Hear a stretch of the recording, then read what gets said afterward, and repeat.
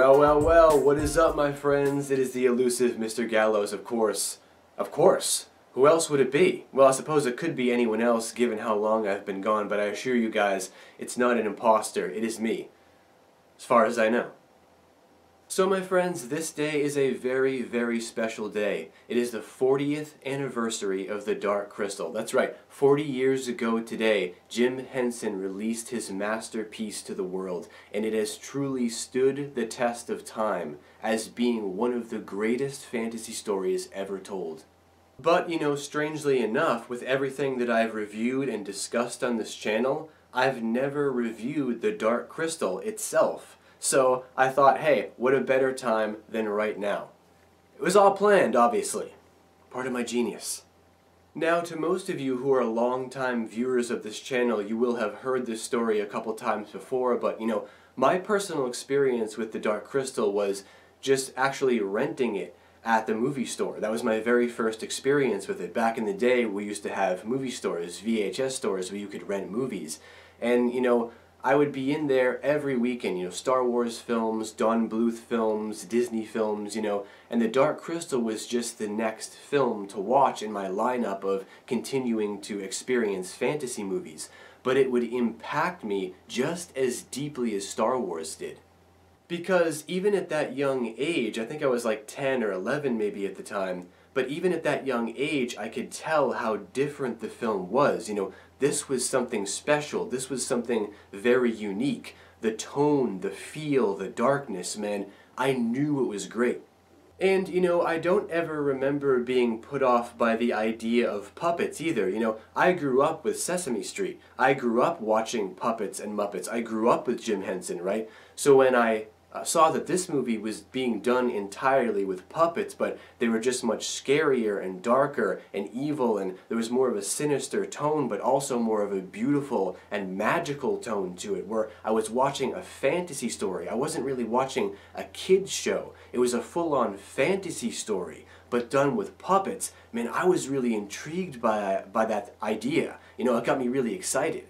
Now, of course, the Dark Crystal is obviously much darker than Sesame Street, you know, but that's what I loved about it, right? After the happy and cheery Sesame Street, the kids programming, the kids learning program, right, of Sesame Street, suddenly being cast into this world of the Dark Crystal is very shocking and very terrifying in a lot of ways.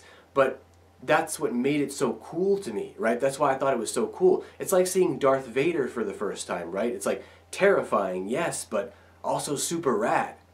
And overall, that is my absolute favorite aspect of the Dark Crystal, right? The darkness that it brings. Because when you compare it to a lot of today's kids programming, where it's all like unicorn piss and rainbows, right? People like Jim Henson and uh, Hayao Miyazaki and Don Bluth, right? They were trying to impact kids in a specific way that was scary. But again, that's what was appropriate about it, right? It was scary, it was difficult to deal with, it was sad, it was depressing, it was kind of shocking right? It was, it, it, produces these feelings in you that kids don't normally have. And the effect that it has on you is that it matures you much faster and it grows and expands your imagination. At least, you know, that was my personal experience with it.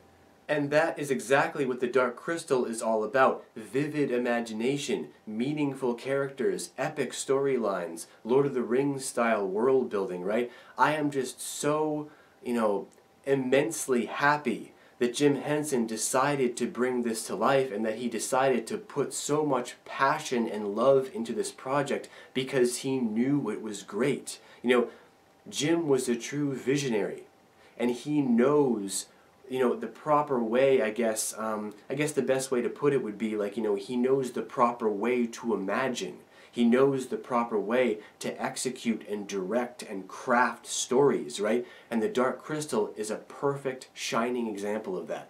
And this is perfectly displayed by my all-time favorite Dark Crystal character in the entire universe. My all-time favorite character, Crystal Bat, number 333.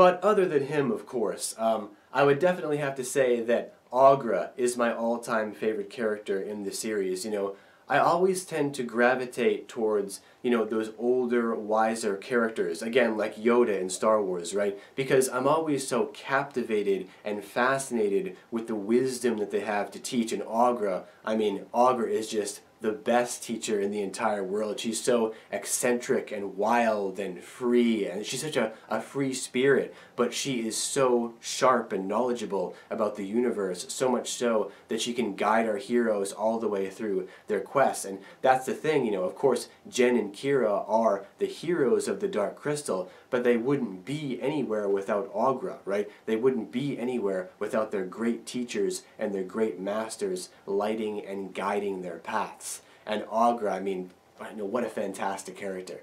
Another one of my favorite aspects of the Dark Crystal itself would have to be the practical effects. And yes, I know, you know, obviously it's the 80s, what else are you going to use but practical effects? But my point is that, you know, when I was watching it again, I was really marveling at the fact that everything you see is real. All the sets you see are real. Everything is either a real set, a real practical set, or like matte paintings.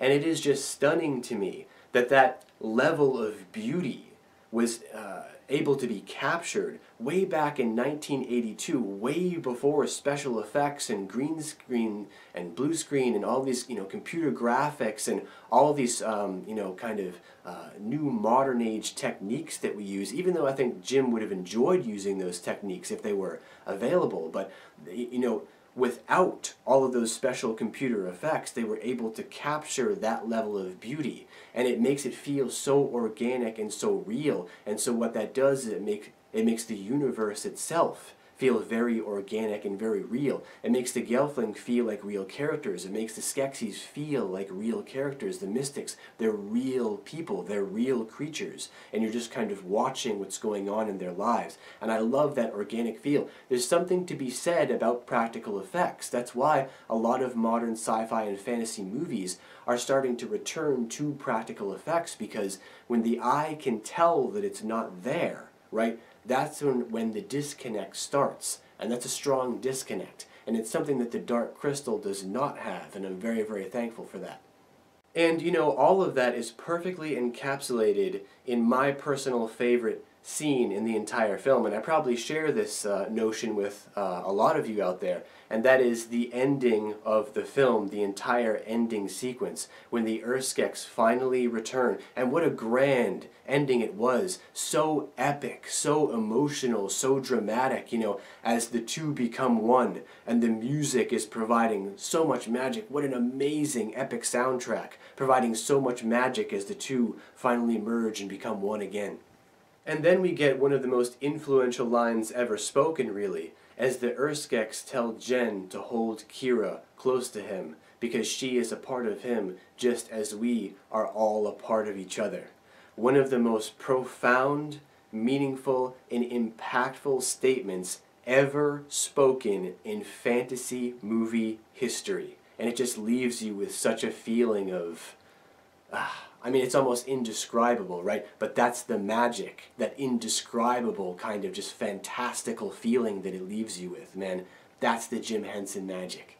Because listen to the beautiful lessons that it's trying to teach us, right? The beautiful wisdom that it's trying to convey to us. And again, this is touched on in dialogue uh, after that scene, right? Which is that courage and sacrifice are what make you whole and that we should build our own world in the light of our Earth's crystal, right? I mean, it's just so beautiful and so profound and so meaningful in so many ways, and, you know, Jim Henson was the man, wasn't he?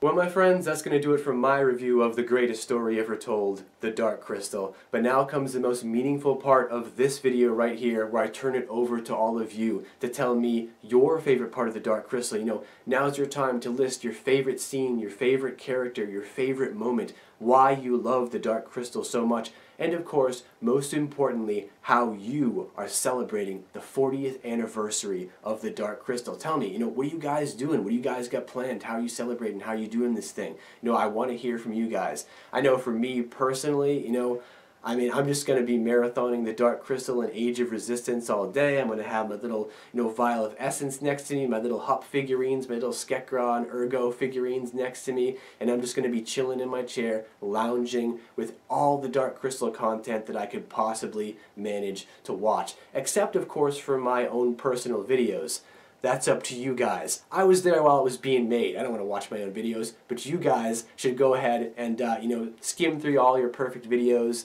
uh, all of your uh, most favorite videos, I should say, um, and you know. Uh, just relive your favorite moments from the Dark Crystal in any way, shape, or form that you can. That's the most perfect way to celebrate. And of course, stay, stay strong and stay passionate, guys. And uh, yeah, in the immortal words of Johnny Silverhand, Never stop fighting. Fourth Raw, my good Dreamfasters. I'll see you guys back here for the next video very soon. Fourth Raw for Jim! Woo!